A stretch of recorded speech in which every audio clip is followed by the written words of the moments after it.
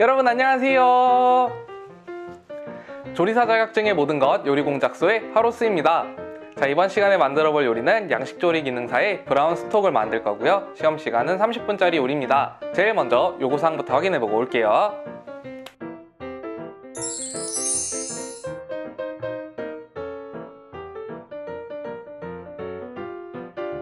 요구사항 확인이 끝났으면 재료 소개를 해보도록 할게요. 양파, 당근, 토마토, 샐러리, 면실, 다시백, 소뼈 찬물에 담가서 핏물을 제거해주세요.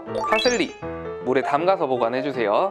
월계수잎, dry thyme, 정향, 통후추, 버터, 식용유 이상 14가지 재료를 이용해서 brown stock을 만들어 보도록 할게요.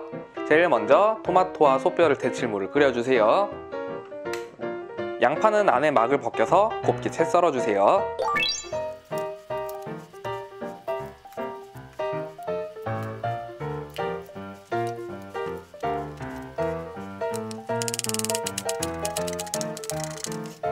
샐러리는 섬유질을 제거하고 채 썰어 주도록 할게요.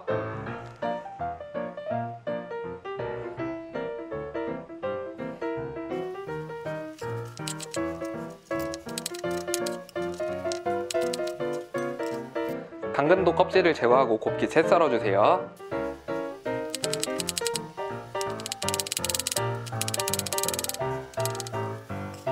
물이 끓어오르면 토마토를 살짝 데쳐주세요. 데친 토마토는 찬물에 헹궈주세요. 핏물을 제거한 소뼈도 삶아주도록 할게요. 약 2분에서 3분간 데쳐주세요. 데쳐낸 토마토는 껍질과 씨를 제거하고 다져주도록 할게요.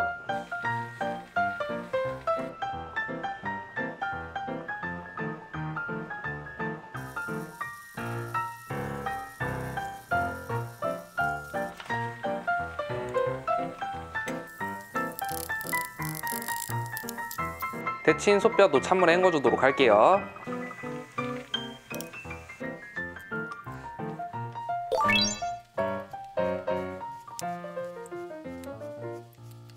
뼈에 붙어 있는 고기와 지방은 제거해주세요.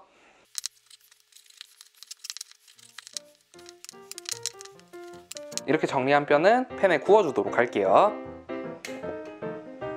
식용유 한 작은술 넣어주세요. 심하게 타지 않도록 중불에서 충분히 구워주도록 할게요.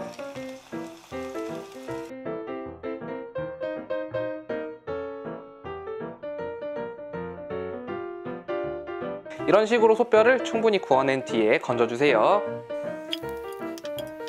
사스 데피스를 만들어 보도록 할게요. 파슬리는 줄기만 사용해주세요.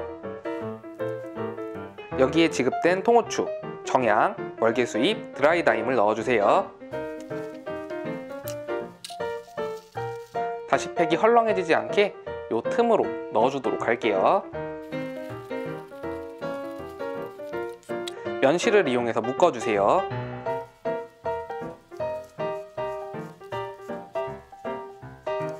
자 이렇게 해서 전 처리가 모두 끝이 났고요. 이제 브라운 스톡을 끓여보도록 할게요. 냄비에 버터를 살짝 넣어주세요. 양파부터 갈색이 나도록 살짝 볶아주도록 할게요. 바닥에 갈색이 난 부분에 물을 조금씩 넣어가면서 볶아주세요.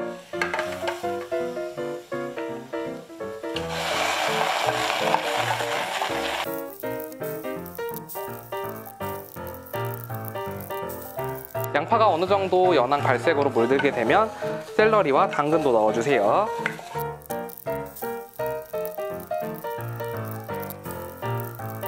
이렇게 해서 원하는 색으로 야채들이 볶아지면 물을 두 컵 정도 넣어 끓여주세요.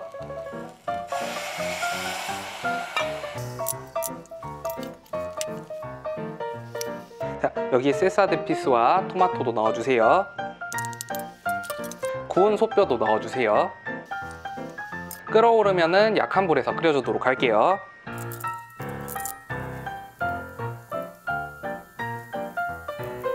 끓어오르면 불을 줄여주세요.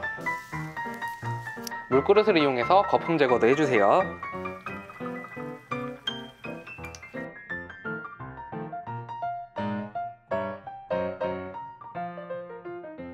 이렇게 해서 충분히 끓여낸 스톡은 면보에 걸러주도록 할게요.